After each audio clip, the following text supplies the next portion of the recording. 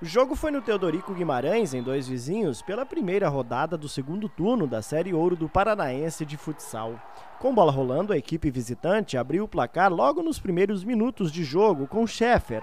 A equipe da casa buscou o gol de empate durante toda a primeira etapa, mas o placar ficou em 1 a 0.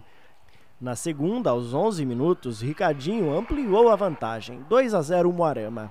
Faltando 1 minuto e 50 para o final, a equipe do Galo conseguiu descontar com o Vitinho. Apesar dos esforços em busca de igualar o marcador, o final ficou em 2 a 0 Moarama.